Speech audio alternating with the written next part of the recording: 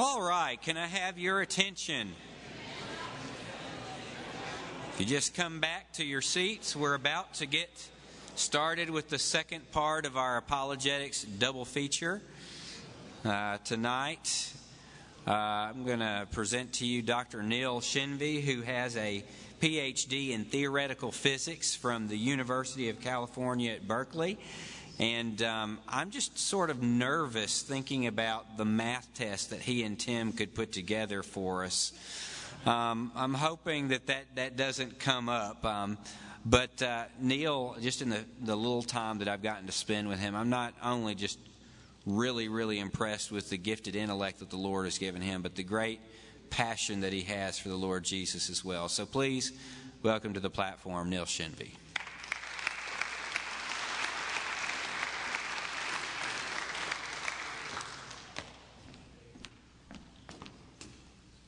Right. Uh, let's just pray quickly. Heavenly Father, thank you so much that you, uh, though you're glorious, though you're great and good, that you've made a way for us to know you, to be forgiven, even though we're sinners. I pray that uh, what I say tonight would be helpful to people, and that if uh, non Christians are listening and are interested, that you would, uh, you would be with me to give me the words to speak, and that they would uh, that they would be able to understand what I say. In your name we pray. Amen. Well, uh, thank you all for coming. Uh, how can I how can I go after Tim? Right, it's like the prime time post Super Bowl time slot, uh, I, the, the, coveted spot. Uh, but it's hard to beat a talk like that. But let me start this talk the way that all good talks should start, with a meme. so this in our modern age, sorry, I'll stand in front of the mic here. In our modern age of science and technology, when, when you say that you believe in God, this is what people often think of the ancient aliens guy. Crazy, deluded, weird hair. Uh, let me ask for a show of hands. How many of you have atheist or agnostic friends who've asked you challenging questions about the compatibility of religion and science? Pretty much everybody. Um, so, this question is uh, important in today's culture for both Christians and non Christians. For Christians, especially those studying at universities, science is often claimed to be in opposition to religion. Uh, people say that it can answer all the questions which were once answered by religion. Well, conversely, for non Christians, science is sometimes advanced as an insurmountable obstacle to the Christian faith. If we really believe in the validity and the truth of science, we can really ignore the claims of Jesus. Well, I want to speak to both Christians and non Christians tonight. I know to talk like this, almost all of you are present Christians, but you know, there are people out there that have come in from, from public, people listening online. I want to talk to everybody. Uh, my goal is to clear away whatever difficulties are preventing us from taking the Christian faith seriously or from living it out confidently. I'm going to argue not only that science uh, does not pose a conflict with religion, but that science can give us good reason to believe that God exists. Now, I know this is quite a challenge, and many of you are probably thinking to yourselves, you know, one does not simply reconcile science and religion. If I can't do that, though, just in this short span, I agree, it's a, it's a big conversation, but I hope I can point you in the right direction. So here's my outline. I want to start with some definitions. Always important to define our terms.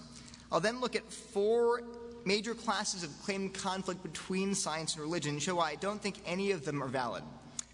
Third, I'll look at some evidence that can point us towards God rather than away from Him that we can, we can glean from science. And finally, I'll ask a question that's pretty, pretty interesting and yet not often addressed in talks like these.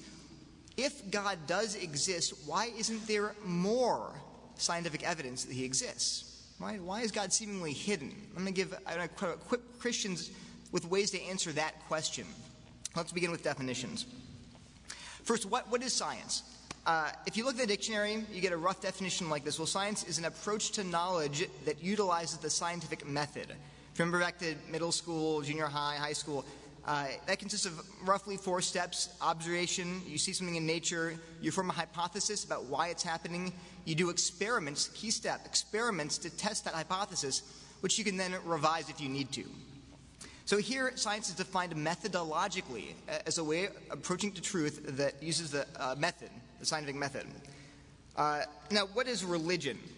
Well, sociologists will argue for hours over this question. I mean, is, is Zen Buddhism a religion? I mean, because Zen Buddhists don't necessarily believe in God. Uh, is, is, Marxism a religion? Because there are a lot of sort of dogmatic assumptions about the trajectory of history embedded in Marxism. But I think tonight, for this, this talk, we'll define religion to be synonymous with monotheism the belief that there is a, a good, personal, transcendent creator and sustainer of the universe, God. Okay, so now we've defined our terms. Uh, let's look at four areas of claimed conflict. Uh, these are there's not just one conflict, there, there, are many. I think I've grouped them into four general categories uh, definitional, metaphysical, epistemological, and evolutionary. Let's start with definitional. So here we see three quotes from uh, some neo atheists Richard Dawkins, Sam Harris, Christopher Hitchens. I'll read the Dawkins quote. I can't do his, his wonderful uh, Oxford accent. I, am from Delaware. I apologize. Uh, but he says, Another meme of the religious meme complex is called faith. It means blind trust in the absence of evidence, even in the teeth of evidence. And you see Harris and, and Hitchens saying similar things. So the, the, the new atheists here are defining faith as belief without evidence.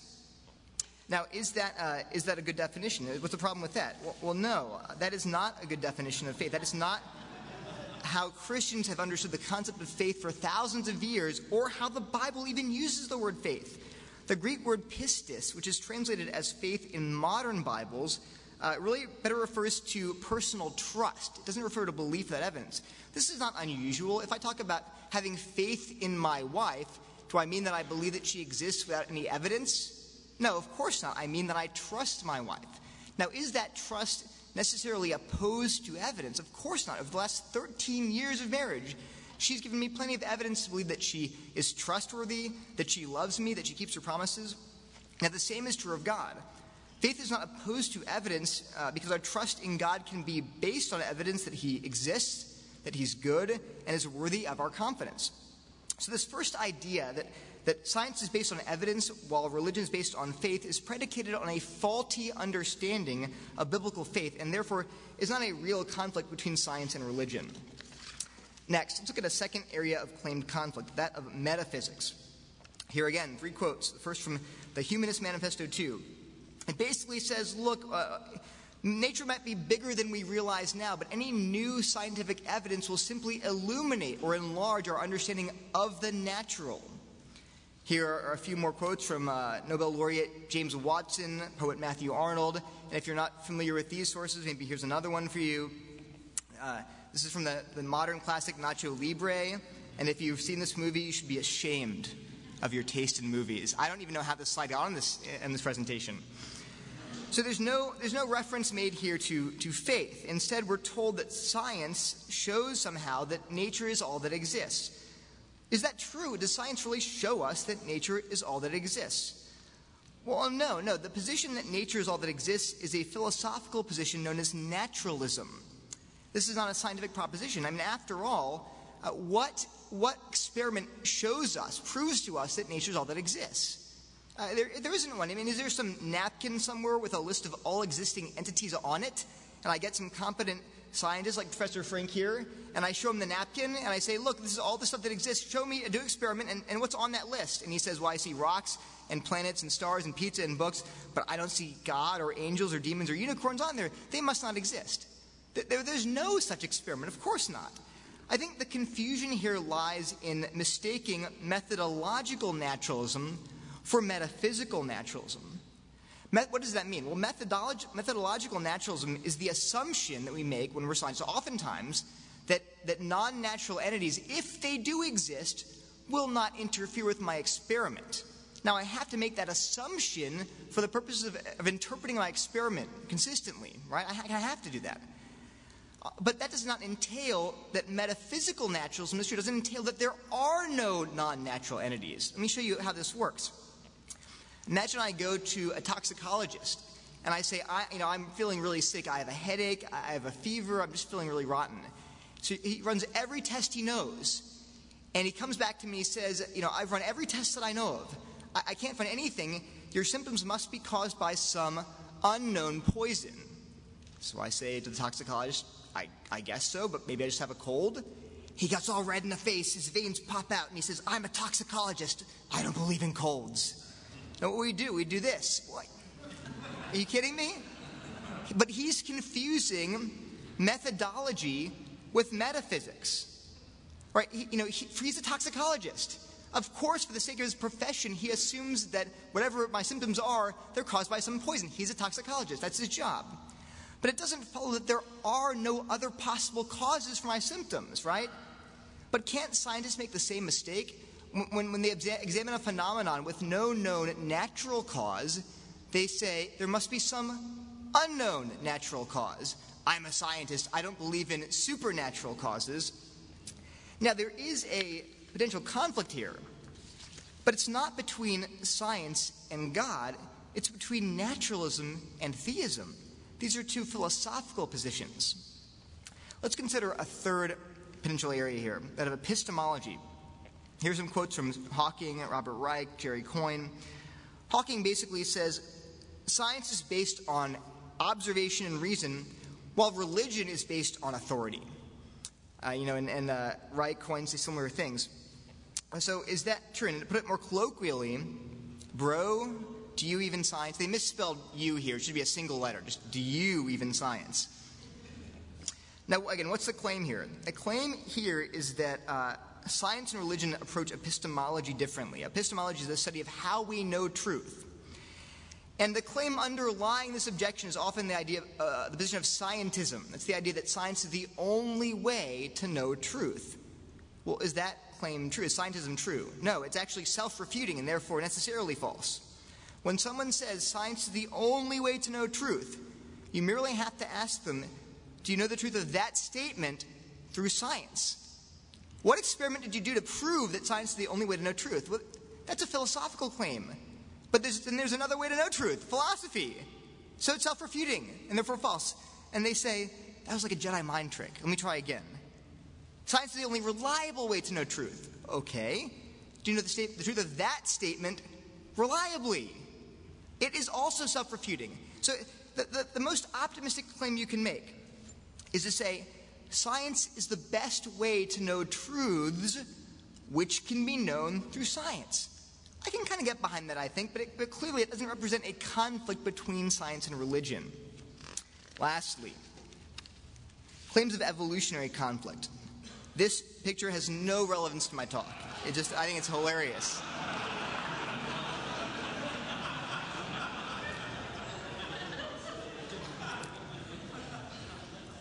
So, Richard Dawkins, again, a very prominent evolutionary biologist, atheist, vocal atheist, he says Darwin made it possible to be an intellectually fulfilled atheist. It basically says here and elsewhere that belief in evolution necessarily leads to atheism. So is that, is that the case? You know, is, does belief in evolution necessarily entail atheism? Before we can answer that question, we have to define evolution very carefully. What do we mean by evolution? Uh, we have to define it before we can examine whether and how evolution is incompatible with God's existence. So, what is evolution? Well, modern evolutionary theory is based on three foundational premises. Number one, that there's been a change in the species of life on Earth over Earth's history.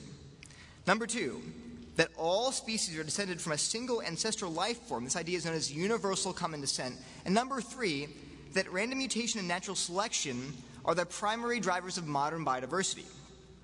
Now, which of these premises conflicts with the existence of God? Well, surprisingly, the first premise that, that, that the species in, on, of life on Earth have changed over Earth's history, this premise is almost universally accepted even among young Earth creationists. I mean, no one thinks there are dinosaurs running around in Iowa right now, right? So everyone agrees that some life that once existed doesn't exist anymore. That the life, the species have changed over its history. That's not controversial. The second premise is a bit more controversial. But again, actually, there's more agreement than you might think. For instance, creationists accept a limited form of common descent, just not universal common descent. So they'd place limits on how much change can occur within a given population, but they'd actually affirm that a lot of modern distinct species shared a common ancestor. So they'd put limits on common descent, but they'd actually agree that there's a lot more agreement than you might think. And actually, many people in the, in the much maligned intelligent design community, at least in the sciences, uh, are willing to accept universal common descent wholesale. So they're in full agreement on this point with modern evolutionary theory. Now, not, not all proponents of intelligent design would do that, but some would. So the real source of conflict is over the third premise this idea that random mutation and natural selection are the primary drivers of all modern biodiversity. So, has science demonstrated unequivocally that this third pillar of neo-Darwinian synthesis is, is true? Well, no. Let me give you two reasons why one philosophical, the other scientific. so, philosophically, uh, the crux of the debate is in what we mean by the word random when we talk about random mutations. Scientifically, this word carries a very technical meaning. It contrasts Darwinian evolution to Lamarckian inheritance. A random mutation, in this sense, is one that occurs independent of its environment, as opposed to a non random mutation, which is an adaptive response to the environment. Now, this kind of randomness says nothing at all about God's existence or even his interaction with the world. It merely says the mutations appear to occur at a rate and in locations that are not dependent on the environment. That's all. Unfortunately, people sometimes confuse this very limited technical sense of randomness, meaning independent of the environment, with a very different sense of randomness, meaning absolutely uncaused, undirected, and unguided. It's the second kind of randomness which is problematic for theism, but only because it excludes God by definition. Even God cannot cause, direct, and guide an absolutely uncaused, undirected, unguided process. But the second kind of randomness is not a scientific description of an event, it's a metaphysical interpretation of an event. So once again, we don't have a conflict between science and God, but between naturalism and theism, two philosophical ideas. But second, even apart from philosophical considerations, this third pillar of evolutionary theory, the crucial one, is the most difficult to probe experimentally. Since creationists are willing to concede at least some degree, large degree, of biological change within populations, and certainly the kinds of things we see today in lab in the, in the, in the change microevolution of bacteria, viruses, things like that, the resistance to antibiotics, well, then proponents of evolution would have to show evidence that really large evolutionary changes can be driven purely by random mutation and natural selection. Unfortunately, because macroevolution occurs on geologic timescales of millions of years and usually proceeds in very small increments, this type of evidence is extremely sparse. I think both sides of the debate would agree that evolutionary support for this third, evidentiary support for this third pillar, the crucial one, the key point of conflict between critics and proponents of evolution, is based upon a, a substantial extrapolation from the current evidence. Now, I can't delve into related objections like, well, evolution explains morality, evolution explains religion, but I think these two objections pretty clearly show that, uh, that the current evidence of, for biological evolution is not in conflict with God's existence. Uh, for both philosophical and scientific reasons, it's possible to reject the claim that evolution demonstrates that God does not exist or that he's not the creator of life on earth, whether through an evolutionary mechanism or not. Okay, so I, I, hope I've shown you then, just briefly sketched why I think there's no inherent conflict between science and religion. But is that all we can say? We say, well, there's no conflict, good. Well, I think we can say a lot more than that. I think we can show that can, we can make a positive case for God's existence from science. But before I do that, let me say a brief word, especially to people in the audience who, are sort of skeptical. Uh, and certainly as Christians, you should make this distinction very clear. I cannot, make, I cannot give you proof from science that God exists. And why is that? Because science doesn't deal in proof. Mathematics deals in proof, usually, sometimes, hopefully. But science rarely produces proof. Instead, it produces evidence. As scientists, we look at the evidence, we, we gather evidence, and then we seek to look at the, to find the best explanation for the evidence we have at our disposal. The question I'm asking tonight is not can I prove that God exists, but I'll give you five pieces of evidence and ask you which worldview better explains the evidence. Which worldview is more consistent with the evidence? Theism or naturalism? That's the question. I'm going to equate atheism with naturalism. I realize that a lot of philosophers are upset by that, but I think you talk to the average atheist, they're naturalists today. Okay, so what are those five pieces of evidence? Uh, I'll go through them each in turn and explain them very briefly. They're, they're, they're really interesting. I could add, add more than this. Let's start with mathematics. Eugene, don't read all this stuff. This is, by the way, these, these, these slides, I violated every possible rule of PowerPoint making these slides. They, they are not for you to read, but for you to uh, access online, look at them later, just so you have them, you know, if you want uh, added information. So you can ignore the text right now. Uh, Nobel laureate Eugene Wigner wrote a very famous paper, and a very accessible paper, entitled The Unreasonable Effectiveness of Mathematics in the Natural Sciences. In that paper, he observes that the remarkable success of mathematics in describing the physical world is actually very surprising. He repeatedly uses the words miracle and miraculous to describe this phenomenon. Now, I have no idea whether he was a Christian, whether he even believed in God. I don't know. But he kept using these words. And he said, why? What are these two phenomena that he points out? He says, well, number one, he says it's not metaphysically necessary that the universe has this deep underlying mathematical structure. It does, but, but why? I mean, we could imagine a universe very easily that was completely chaotic, uh, governed by no underlying mathematics at all. We could imagine universes that were sort of partially chaotic, with, with, with regularity in space and in, in time, but then it was periodically interrupted by chaos. So maybe the laws of nature in one laboratory are different than in another laboratory. Maybe laws of nature in one planet are different than on another planet. Uh, maybe every Wednesday the laws of nature stop working. We could imagine that, but we don't find that at all. We see a universe with this incredibly uh, structured and what's more beautiful mathematics that describes everything. And Vig, not me, Wigner says, why? That's weird. That's first. Number two, he says, in addition to this fact, why are human beings alone able to perceive and understand this structure? Wigner says this fact is also quite surprising. I mean, you could say, oh, well, evolution. That explains it because evolution selects for intelligent organisms. No, no, hold on. I can understand why it might confer reproductive benefit to be intelligent enough to avoid being eaten by a tiger or falling off a cliff. But why is it that human beings can understand topology, right, or, or molecular biology? Why?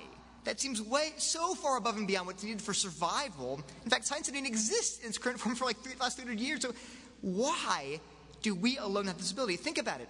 I mean, there are other intelligent animals, chimpanzees, dolphins, they're very intelligent. They come nowhere near our innate capacity for understanding things like math and science, for abstract reasoning. And Wigner says, why is this? In fact, Albert Einstein, a famous quote, he said, the most incomprehensible thing about the universe is that it's comprehensible. That encompasses both of these points is that one, the universe is comprehensible in some sort of objective sense, then number two, that we can even understand, as human beings, we can understand it. Why? Why? Now, that makes a lot of sense if Christianity is true, because Christians believe that God is infinitely wise and intelligent and created the world, and so the universe reflects his order and, and brilliance and, and, and, and rationality. What's more, Christians believe that, that God made human beings in his image in order to appreciate the universe he created. The, the Bible's full of statements like we should, we should love and, and, and glorify God for his brilliance and that we should see it reflected in, in nature. But what if you're a naturalist? What if you're an atheist?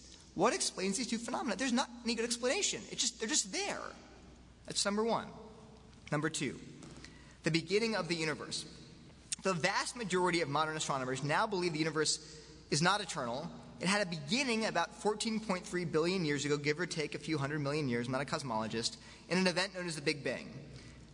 Now, what most people don't know is that this model was resisted for decades because it contradicted the prevalent belief of astronomers that the universe was eternal.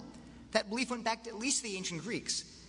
As recently as 1989, what is that now, uh, 27 years ago? the editor of Nature magazine. It's one of the most prestigious scientific journals in the world. He wrote the Big Bang is philosophically unacceptable, and that creationists uh, uh, uh, seeking support for their opinion have ample justification in the doctrine of the Big Bang. Now, you can kind of see why he said that. Why is the Big Bang problematic for naturalists? Well, if the universe is eternal, you say, well, what caused it? Well, nothing. It's always been here. There's no need for a cause. But wait a minute. If the universe actually began to exist, now we have to ask that question. Well, wouldn't something or someone have to have caused it to come into being? And, and if all of time and space and matter and even nature itself came into being at the Big Bang, then wouldn't the cause, whatever it is, have to be outside of time and space and matter, even outside of nature itself, at least be, be extra natural? Now, while this observation doesn't prove that the cause is God, I think it's very suggestive. But even more than that, what's suggestive is the recently discovered fine tuning of the universe. Again, last few decades, this has come out. So, the standard model of physics is our best working model for understanding the interaction of uh, fundamental forces and subatomic particles. But this model includes a number of, of independent parameters, just numbers you plug into the equations you have to derive them from you have to get them from experiment. You can't derive them theoretically from equations. I'd love to on my blackboard, I can't. You just have to measure them. These are things like the ratio of the strong force to the, gravitation, to, to, the, to the gravitational force or the cosmological constant. These are numbers you just get from observing nature.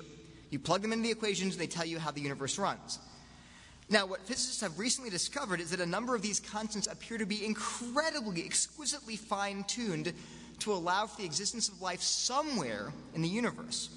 And if some of these constants had been changed even a fraction of a fraction of a percent, life would be impossible anywhere in the universe.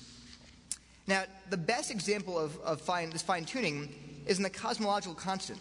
That is finely tuned to one part in 10 to the 120th power.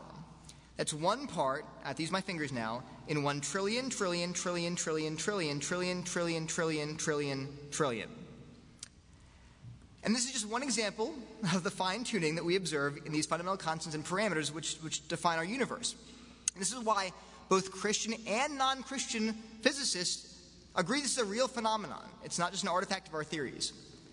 Now, what's the, I mean, obviously, Christians, what explains this? Well, Christians would say, well, look, God purposed to create a universe with regular physical laws inhabited by physical beings like ourselves, and that's why the universe is the way it is. He designed it this way. That kind of makes sense. What's the best non theistic explanation of this fine tuning? Well, currently, many atheists posit the existence of uh, a, a near infinite, uh, infinite number of undetectable parallel universes called the multiverse. Now, in each of these parallel universes, the fundamental constants vary slightly. They're a little bit different.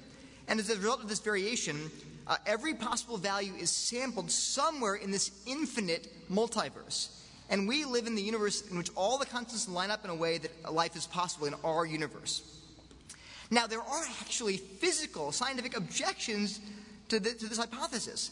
But right now, I want to focus not on those, but on just one very practical objection. You know, many atheists say to me, I, I could never believe in God. It just takes too much faith, it's too weird, it's too implausible. And I can kind of see emotionally how you'd feel that way. You know, but surely it takes at least a little bit of faith to believe that there exist an infinite number of undetectable parallel universes. Right? I mean, after all, if an infinite multiverse really does exist, then there are actual universes out there in the multiverse in which pink unicorns exist. Pink unicorns with, with ten horns and feet made of pudding. Okay? There, there's a universe out there in the multiverse that actually exists that's composed entirely of gorgonzola cheese. Why dairy products? I don't know. It was funnier that way. Uh, so if that, if, you know, if God's existence seems weird and implausible to you, would you at least concede that these ideas are at least a little implausible too? I think you can grant that. Fourth, I can't resist saying a little bit about quantum mechanics. This is my area of professional expertise. I don't think it provides reasons to think that God exists necessarily, but I think it does have some very interesting implications for a sort of naive view of reality or naive naturalism. Let me list just two well accepted features of quantum mechanics that are surprisingly not very well known to most non physicists. First, quantum mechanics makes it extremely hard to identify inviolable laws of nature, so laws that can just never be violated. According to quantum mechanics, while events may be extremely improbable, very few events can be ruled out as absolutely impossible. For example, this is my favorite example. Uh, there was a physicist uh, who was uh, helping to build the LHC, a big particle collider somewhere in Europe. I think I forget where it is. Uh, and, and, a reporter from the New York Times asked him, "Is your machine going to destroy the world?" This is like the plot of a bad movie, right? Uh, so, but is it going to do that? And he said, "No, our machine is not going to destroy the world. Probably." Uh, but he said, but he said this, you know, he said, but given the random nature of quantum physics, there's a non zero chance of anything occurring that the new collider could spit out man eating dragons. Now, he, he was joking a little. What he was, but he was technically just saying what I'm saying. There's a non zero chance that basically anything could happen. Okay? Uh, so, so what that means then is that we can't say anymore that miracles are impossible. We can't say that. It just even um, forget forget other arguments of philosophy. Just saying physically, scientifically, the laws of nature are, are sort of inherently they seem to be probabilistic. We can't rule out miracles as impossible. And if God decided to intervene in the universe to perform a miracle, he could do so without violating any of the natural laws that he created. People say that's so sloppy. Well, he wouldn't have to be sloppy. That's sort of built in to the laws of physics as we understand them currently. That's one. That's first point. Second, quantum mechanics dictates that there are some entities that will never be accessible to observation. So, in a Newtonian, a classical sort of 19th century universe, you could theoretically measure everything, every particle, every property of every particle in the entire universe, in principle, with a good enough machine, with a good enough instrument. But according to quantum mechanics, the most fundamental unit of reality, the most fundamental description of reality is the wave function. And you can actually prove mathematically, it's called the no cloning theorem, that you cannot measure the wave function exactly. You can't. In fact, there's a whole field called quantum cryptography based on that theorem. So that's a kind of a bitter pill to swallow for many naturalists, many proponents of scientism. This, uh, this enlightenment idea that we can know everything through reason and science and observation. I'm sorry, quantum mechanics says there is a limit to what you can observe. There just is. It's fundamental.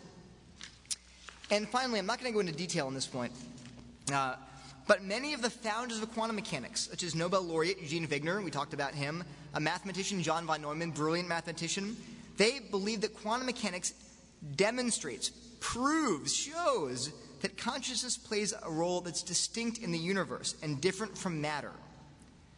Now, their view is not the only one. It's not even that, that popular today, but, but, but, you know, they really thought it was true, and I think it's certainly one of the positions out there today in physics. Uh, I think I wouldn't go so far as they did and say it, it's proven by quantum mechanics. What I would say is this I think it's con- a conservative assessment would affirm that quantum mechanics makes it easier to affirm mind body dualism. It's much more plausible now than it was in a Newtonian universe. Okay? And if you want to hear more about quantum mechanics, I have a talk tomorrow. You'll learn all you care to know about quantum mechanics. Uh, so, I, while I don't think that quantum mechanics provides direct evidence that God exists, I think it does challenge some of these very naive naturalistic ideas about reality in at least these three areas the possibility of miracles, the fact that not all of reality is accessible to observation, and through the possibility, at least, the possibility that mind really is distinct from matter. Finally, I want to ask what the search for truth itself can tell us about God's existence. It seems like one prerequisite for the whole scientific enterprise is the assumption that truth is intrinsically good and that we ought to seek it.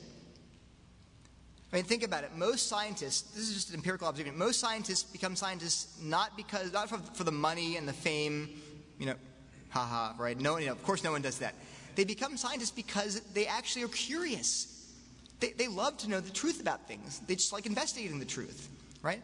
And so, so that's why most of my friends that are scientists became scientists. They just wanted to, to seek the truth, they wanted to know the truth. But if truth is not intrinsically good, then why seek the truth at all, either through science or any other means?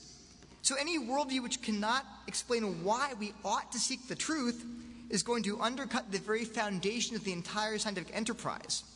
So, let's ask the question Is truth intrinsically good, and should we seek to know the truth? Now, the difficulty arises when we try to explain why truth seeking is intrinsically good or morally obligatory if naturalism is true, if nature is all that exists. Now, why is that? Well, look, most, most theories of morality on naturalism, most naturalistic theories of morality, tend to equate ultimate value and moral goodness with human flourishing. So, if you wanted to explain why science and truth seeking are good if you're a naturalist or an atheist, here's what you could say. You'd say, well, look, uh, human flourishing is the ultimate good, right? We're agreed on that. It's what all of our ethical theories are based on. But truth promotes human flourishing. In fact, especially science. For example, we can use science to discover drugs to cure the sick. We can use science to, to, to, invent ways to feed hungry people, right? So, so clearly, science is good because it promotes human flourishing. And in the same way, truth is good because it promotes human flourishing. Now, that's how you do it, but here's the problem. What you've done now is you've made truth an instrumental good, not an intrinsic good. And what, what do I mean by that? An, an intrinsic good is something that's good unto itself, it's an end unto itself. It's good because of what it is. An instrumental good is something that's good only insofar as it leads to some other good, right? Some other ultimate good. So in this case, we said, well, truth seeking, truth, is, is instrumentally good because it leads to human flourishing. But so could other things. For instance, like, who doesn't like smooth jazz? That leads to human flourishing, so it's good. Papayas, everyone loves papayas. They're good too. They lead to human flourishing. Now, do you see the, you didn't see the problem? What happens if I hate smooth jazz? What happens if I'm allergic to papayas? Oh, well, if I, if I cut the connection between papayas or smooth jazz and human flourishing, well, then, then they're not good, right? What happens if we cut the connection between truth and human flourishing? What if they're in conflict? Simple example. You're, you know, you're an atheist, and let's say, for the sake of argument, let's say atheism is true. And you're an atheist, atheism is true, and your Christian grandmother is dying. She calls you in to be with her in her last few hours, and she is clearly in incredible pain. She calls you in into her bedside, and she says to you, You know, I am suffering so tremendously. It's, it's terrible. The only thing that makes me able to just withstand this pain and even gives me joy in the midst of suffering is knowing that I'll soon be face to face with Jesus, who loves me, who died for me. That, that I'll be reunited with my husband, with my little infant who died. That's what gives me the possibility of being happy right now. Nothing else could. But tell me, atheist grandson, I hear there are some people who don't even believe that God exists. Is that true, atheist grandson? Should I seek to know the truth? Now, what do you tell her? I think you're morally obligated to lie to her, to urge her to not seek the truth. Why? Because in this case, very clearly, it will diminish her flourishing, and that is the ultimate good. And this gets worse. Uh, what if Bertrand Russell, Jean Paul Sartre were right in their assessment that atheism is a terrible, agonizing, miserable truth? They thought that people would be much happier believing that God exists rather than believing the miserable, awful truth of atheism. They believed it was a truth, they thought it was terrible truth and agonizing. Now, empirically, what if they were right? What if it just turns out, as a psychological fact, that most people are much happier, they flourish more believing some religious delusion rather than the truth of atheism? I think that as an atheist, you are morally obligated to promote the most ridiculous religious delusions if they lead to human flourishing, and to suppress the truth if it does not lead to human flourishing. So it doesn't seem that naturalism can, can, furnish us with any reason to think that truth is intrinsically good or that truth seeking is morally obligatory. And that inability tends to undercut the entire scientific enterprise. Well, can any worldview explain why truth is intrinsically valuable and why truth seeking is morally obligatory? Well, yeah, Christianity can. If a truth loving God exists, and if he commands us to seek the truth, now we can explain why truth seeking is good and obligatory. You know, and, and, we can even resolve the tension between truth seeking and human flourishing, right? Because sometimes truth is hard.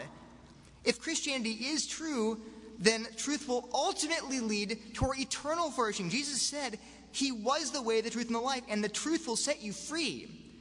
So, no matter what hardships or difficulties attend truth seeking here, there'll be no ultimate conflict at all between truth and our joy. So, we have a very strange paradox here. Atheists who tend to rightly value truth very highly, good for them, have no way to explain why it's valuable.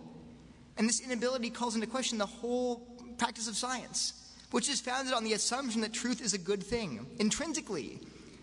Moreover, if an atheist approaches a Christian and says, You ought to abandon Christianity and seek the truth of atheism, I think the Christian is well within his rights to say, Well, look, I, you know, I love God, I love Jesus, I love being a Christian. It makes me a, objectively a more compassionate, generous, kind person.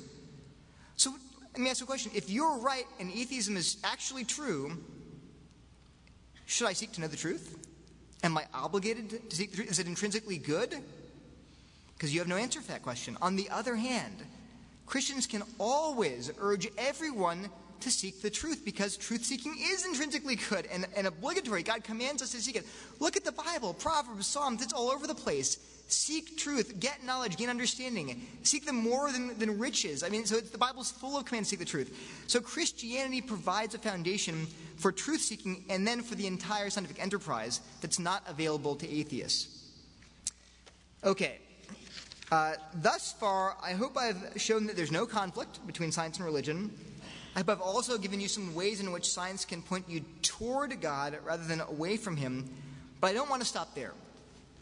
I want to tackle another question which I think is often overlooked in this whole discussion. Why isn't the scientific evidence for God's existence clearer? Even if we think that there's good evidence that God exists from science, like I do, why isn't it just absolutely undeniable? Why isn't God uh, sort of even it's even more evidence that He exists? Well, good question. I, I hope you guys, uh, some atheists and some ask that question, and I want to equip you guys to answer it. If you're not already don't already know how to answer it. Uh, number one, I'd say, well, science is not the only means of truth. This goes back to the scientism uh, part of the talk. So it seems foolish to demand that definitive evidence for God's existence must come through science. Why not through ethics or aesthetics arguments or existential arguments? I mean, there are other ways to, know, to, to acquire knowledge. In fact, it seems to me that there are many reasons to expect that God would not use science as the primary vehicle for his revelation. For example, uh, at what state of scientific progress should God have stopped and made his existence clear? I mean, modern science has been around for like 300 years. So should God have left himself without a witness to humanity for millennia until we caught up to him in terms of, you know, biology and chemistry and physics? Well, that can't, that can't be right. And, what about differences, individual differences now, in, in ability? I mean, some people have PhDs, other people are illiterate. If God says, okay, you, will know that I exist if you can understand, say, graph theory, right? Well, he's leaving out the vast majority of human beings throughout history. And God wants to be accessible not just to some elite few, but to everybody. So, again, another good reason he wouldn't choose science as the primary mode of his revelation. Third, what about cultures that just don't care that much about science? I mean, some cultures value other things. We value science as a sort of Western culture. Other cultures value things like art, uh, music, tradition, experience. Now, we could look at those cultures, oh, they're primitive and backwards, but you know, God doesn't think that way. God wants to be known by them as much as he wants to be, to be known by us. So I think for all these reasons, it makes sense that God would not limit his revelation to science and certainly wouldn't use it as the main tool for his communication with humanity. Okay, you know, a skeptic might say, okay, okay, I get that, sort of get that. Uh, maybe God has reasons to, to reveal himself through more than just science. Okay. But that still doesn't make any sense. I mean, God should give us more evidence, even considered in its totality, right? Considering all the evidence from all disciplines, why is there more evidence? Why is God seemingly hidden? I mean, if God's omnipotent, he can do anything he wants. Uh, why not just write John 3.16 in, you know, mile-high letters on the moon in every language on, on, the earth? Why not rearrange the stars to spell out God exists, uh, you know, in, in, the Milky Way? Uh, why not teleport copies of the King James Bible into every hotel room nightstand? well, the Gideons beat him to that one, you know. Uh, but why doesn't God just do some unmistakable sign from heaven to just show, to, to prove that he exists to us? I think it's a, it's a good question, and plenty of people have addressed that question. Let me give you one, I think, very important answer. Uh, and it, we have to take a harder look then at the, the biblical doctrine of sin. I'm going to argue that evidence is not the ultimate issue. Believe it or not, uh, your intellectual objections and mine are not the ultimate reason for our mistrust of God. Remember, faith is trust. The opposite of, of faith is not sort of like doubt, it's mistrust. It's sort of being, you know, thinking unpleasant ideas about God, not liking Him very much, in fact, expressing an enmity towards Him. So, how can I convince you that evidence is not the ultimate issue? You said, no, no, no way, no way. If I had more evidence, I'd totally believe God exists. Okay, well, wait a minute. Let me consider a thought experiment. Uh, let's imagine that you know if you're watching online, you know you stop, stop, press, press pause, go to your room. You guys leave here tonight, go to your dorm rooms, and you say, okay, I'm going to ask Jesus if he actually is who he claimed to be. So you go back to your, your room, you pray, Jesus, if you're there, give me evidence. Give me enough evidence I believe. There, there is Jesus, right there in your room. And he shows you the nail prints in his hands. Uh, he, you know, he, he does miracles. He says, What do you want me to do? You know, he makes your laptop levitate. He turns your bottle of water into a bottle of wine, but you're Baptist, you pour it out. Uh, you know, he does he does whatever it takes to convince you. Whatever miracles you want, he will do them for you right there. There's no until all of your doubt that he exists, that he is who he claimed to be, it's all removed. Intellectually, you are sure that he is God, that he is Lord, that he rose from the dead. So that's I'm not going to ask you then whether you believe that, that God exists, that Jesus is God. That's, we'll assume, for the sake of argument, that question has been settled in your mind. I want to ask a different question. How do you feel about him? What if in that moment he's just proved to you, to your satisfaction, that he exists? He now says to you, I now want you to go into all of creation and preach the good news.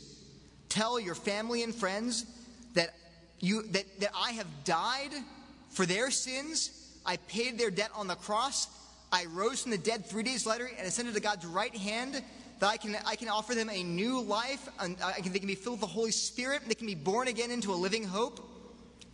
And, and now that I'm your Lord, that means I've, I've complete control of your whole life. I have the ultimate say in your decisions. You have to, you have to submit to me your, your money, the way you spend your time, your career goals, your friendships, what you do for entertainment. If I, if I command you to completely change your career goals and do something else, I am your Lord now. You don't call the shots ultimately, I do. You surrender everything to me. Now tell me honestly, doesn't it make you feel a little bit uncomfortable? Now, I'll be honest, I'm a Christian, it makes me feel very uncomfortable. Why? Because we're all sinners. This is the doctrine of sin. There's a part of us deep inside that doesn't really want God to exist because we know a God like that would be our Lord. And we want to be our own lords. We want to call our own shots. We want to be in control of our own lives and decide what's good for us without reference to God.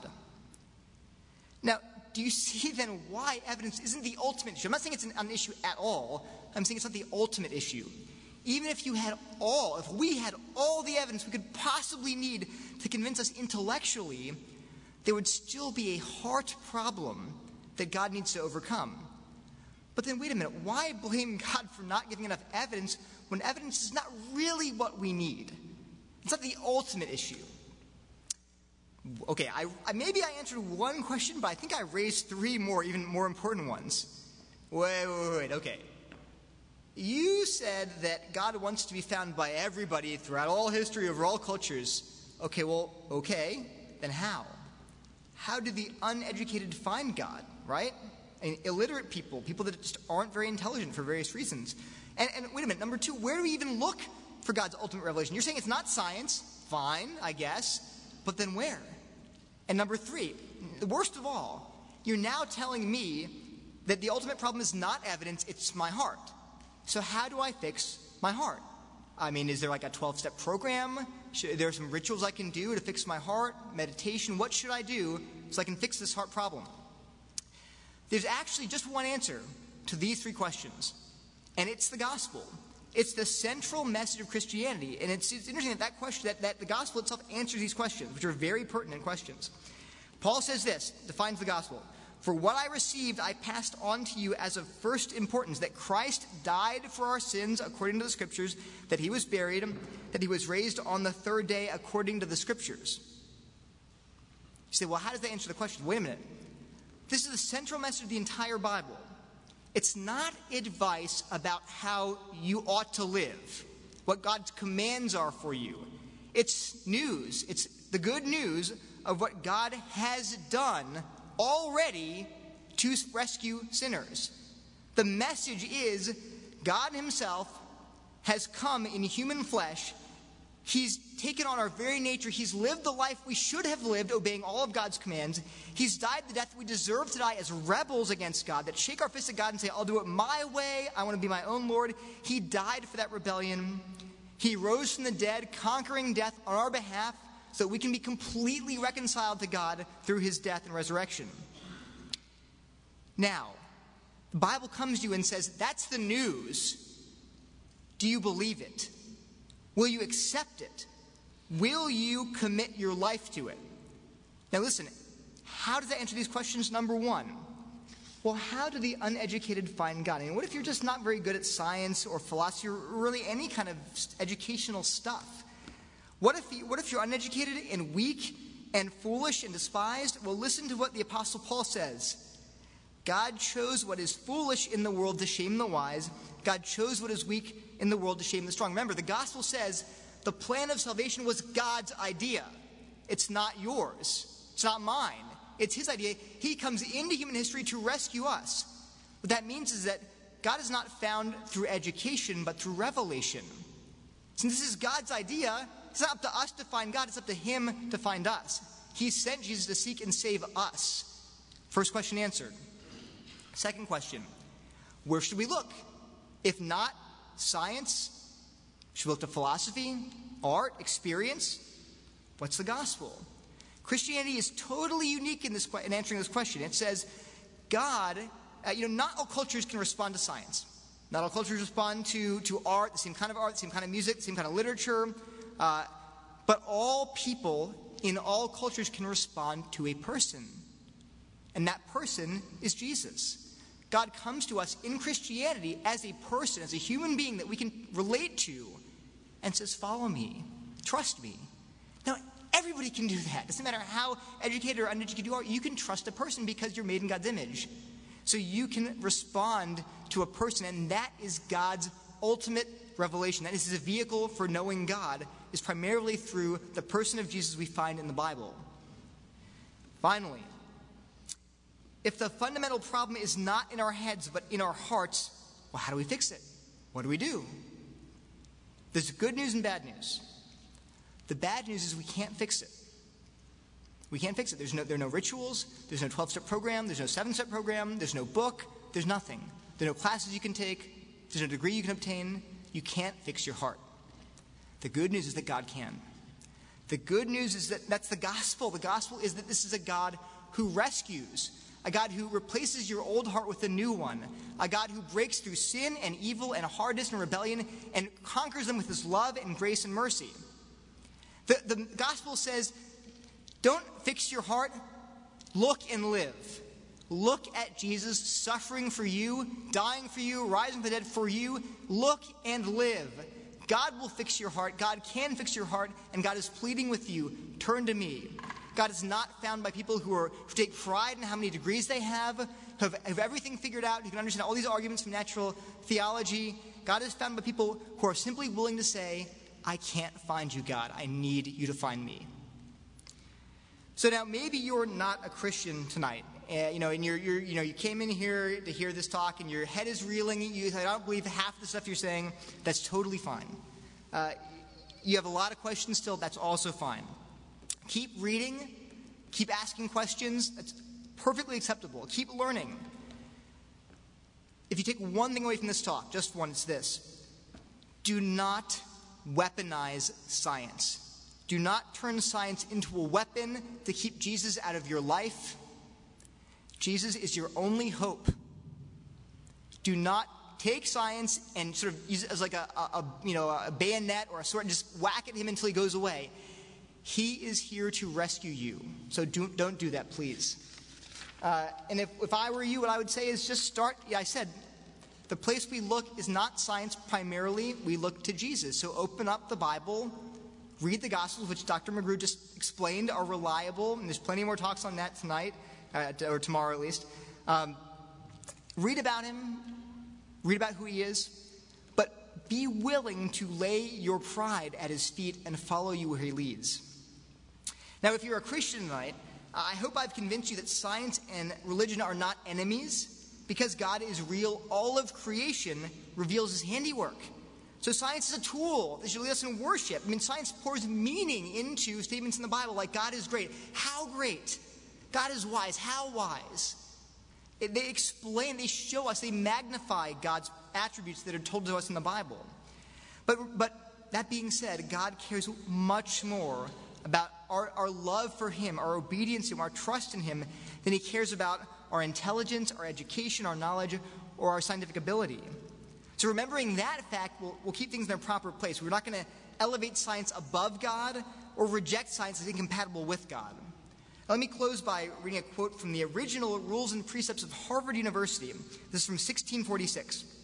It says, Let every student be plainly instructed and earnestly pressed to consider well the main end of his life and studies is to know God and Jesus Christ, which is eternal life, and therefore to lay Christ in the bottom as the only foundation of all sound knowledge and learning, and seeing the Lord only giveth wisdom. Let everyone seriously set himself by prayer in secret to seek it out of him. You know, the founders of Harvard, Harvard were basically quoting Proverbs. They understood that, that, that all of our scientific knowledge, all of our philosophy, all of these this education, it's great. But compared to the surpassing worth of knowing God, it's ultimately worthless. So, I, knowledge of God is the most important object we can seek in all of our life and studies. So, let's always keep that in mind. Thanks so much, and I'll be happy to take questions.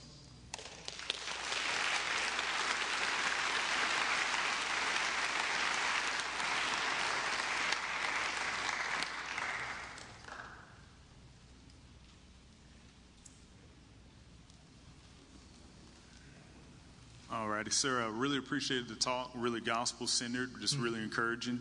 Um, you know, just just just a quick question. Um, I get I get to work with students, Yep. and uh, and sometimes I encounter students who have really negative views about science, and so they just rule out science because what they've been heard or what they've taught about science is that science is innately wrong or or rules got out of the picture. So, what are some ways to really encourage students to to love science and to love God at the same time?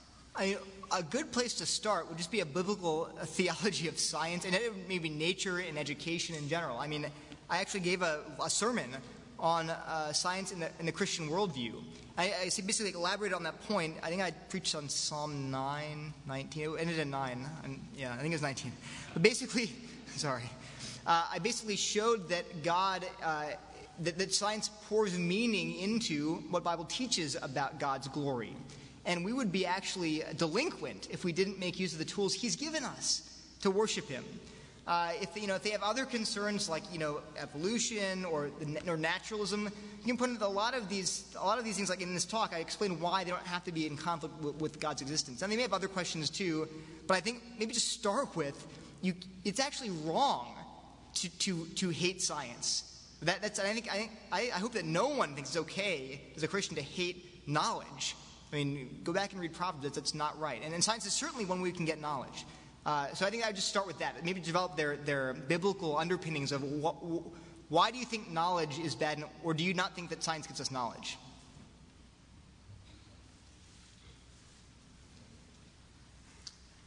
Uh, thank you. Awesome stuff. Um, when it comes to science's um, descriptions and whether arguments or supportive statements towards uh, the flood in the story of Noah, where's your stance and your kind of um, understanding of that, and when it relates to inerrancy as well? Right. So uh, all of those questions I tend to not answer in public. Uh, just because they're so contentious, and I, uh, they're also the call for a very sort of nuanced response. It depends on the person. Um, I, I, I just generally don't talk about that uh, unless it's in private. I'm happy to discuss it with you in person, just because I like to give talks that everyone can listen to and no one gets angry and walks away. Um, uh, so if I can, I'll leave it there. I may have to talk to you afterwards. Uh, but essentially, yeah, I think I'll just leave it there. Because my, my goal in general is to sort of open people uh, up to the possibility that science and religion are compatible. I think tending to take stances on these issues will just sort of polarize the audience, or everybody. So I'm avoiding your question. Neil, great talk um, and great message. Hmm. I was wondering, have you have you read *The Privileged Planet* and by Guillermo Gonzalez? I think I own it. okay, Um, and Jay Richards. Yeah, yeah. So I, I own it, and I think that. So if you look at the way I structured this talk, I think I mentioned this to someone before the talk. In general, when I, when I talk about science and religion, especially to scientists, atheists, I, I frame the question in terms of defeating their objections. So basically, a lot of those things I listed were defeaters. If naturalism is true, Christianity is false. If, uh, if uh, scientism is true, Christianity is false. So those are all defeaters for Christianity. I show them that those defeaters don't work. But then I, I then I can make a case, maybe for God's existence. It's fine. Uh, but I'd also, ra- I'd, I, but there are lots of other arguments I want to use to make a positive case for the gospel. Uh, my point is this: Privileged Planet. I haven't actually read it. I own it. I haven't read it. I tend to think that we we don't want to overpress our case. So a good example is this: um, abiogenesis, life from non-life. As I'm not a biologist, I'm a theoretical chemist. To me, my very lay understanding, having read almost nothing, it just seems problematic. Even scientists will say it's very problematic. We don't understand it. I don't mention that. Why? Only because people just have this I don't want to hear it. They, the walls will go up. They'll stop talking to you. Uh, I don't know why that is exactly. But I find that certain topics, like suggesting that, that the planet Earth somehow specially, it sounds so spooky. I would rather focus on sort of very general claims that can, can point to God, make more firm claims related to the history of the Bible, the gospel, uh, things like the resurrection, uh, that don't raise hackles quite so much. And I just, I don't know why, maybe I'm wrong, but I find that some of these arguments, at least from my colleagues, tend to just, I just know how they react. Okay. And I just, rather than discuss those issues, I mean, I mean, I can learn about them, I guess. Well, the only reason I bring it up is you brought up the fine tuning Yes, yeah. of the universe. And so this would take fine tuning and say not only Mm-hmm. is the universe fine tuned, but humanity is able to study the universe, which doesn't make any sense. Right. That this planet is able to see the rest of the universe and actually have a view of all of the mathematical constructs in it, Hmm. whereas any other planet that we can see would not Wouldn't have that, that. viewpoint. So, So I I think the, the main one of the reasons I would do that is just because the with the fine tuning is already at like 10 to the 120th power. I'm not sure how many zeros you need to add to make that a strong argument. So I think it's already like you know it's going to be overkill. Um, and and also I just don't know. I know I've read a little bit of the back and forth on on the cosmological fine tuning, and frankly I think atheists the, the, multiverse is the answer. That's that's the response.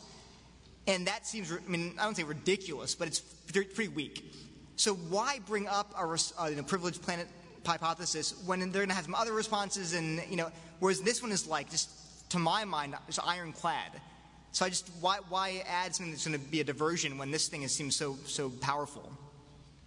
Yeah. I think this will be the last question for Okay. Stephen. You can ask him a question private. Thank you for the presentation, Neil. Yep. You had mentioned in your slide that uh, Wigner and von Neumann believed that quantum mechanics showed. Um, You can get to the microphone. sorry. You had said that um, in one of your slides that Wigner and von Neumann believed that quantum mechanics showed um, mind-body dualism. Yeah. Can you elaborate on why they held that belief from quantum I, mechanics? I, so I have a whole talk tomorrow on quantum mechanics and miracles, materialism, and quantum mechanics, where I do elaborate on that a little bit. Um, it's, a, it's, it's not super technical, uh, but uh, the bottom, well, I can't explain it briefly. You can come to the talk tomorrow. Uh, that view is not widely held by physicists today, but frankly, I think mainly because it's so spooky in, in the mind of physicists. Uh, I, I think there pro- there are problems with it. There are problems with every quantum mechanical interpretation, frankly. Uh, but that one is just sort of out of bounds. you know, to suggest we have souls or minds is so crazy that they don't want to even consider it. Uh, but there are, there are reasons I can mention tomorrow. Well, thank you, Neil.